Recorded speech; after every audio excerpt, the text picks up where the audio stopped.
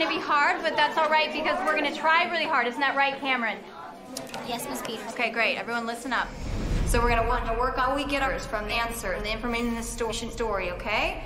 We're going to go ahead and test, factual test, and try this actus te- test. Open test, your test, open up. So we're going to page, go to three. First on page three. ¿Qué dijo? ¿A poco, ¿A poco va a empezar el examen? No, es una práctica.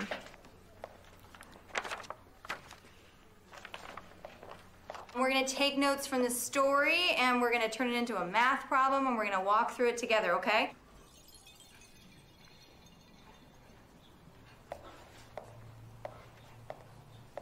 So the boy ran three blocks.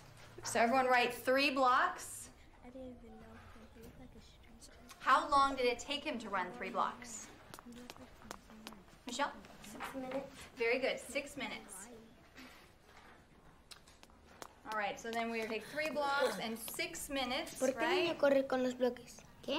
Sí, ¿por qué el niño corre con los bloques? No, Okay, so the corre tres questions are calles. go on to ask us, how long will it take him to run 20 blocks? What do we do? How many minutes is that per block? Eight minutes. Try and remember to raise your hand if you want to answer, okay? No, it's not eight minutes. Michelle? 18 minutes? Nope, not 18 minutes.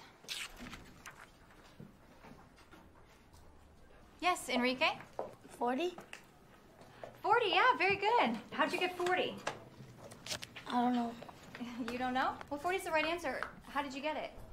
I forgot. You forgot.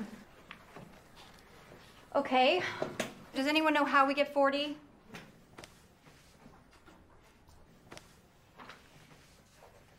Yes, Moisés.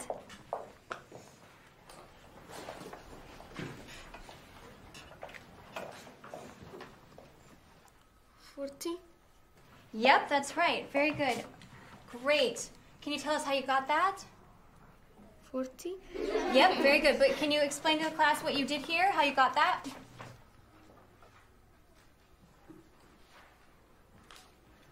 Forty? Okay, all right, you guys, settle down. That is so dumb. Joe, do you want to lose your recess? No. Okay then.